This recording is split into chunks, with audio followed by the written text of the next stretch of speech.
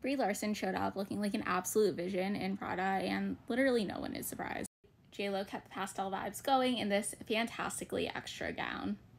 Dua broke away from the soft pastels of the evening in this goth mermaid silhouette, but I kind of love it.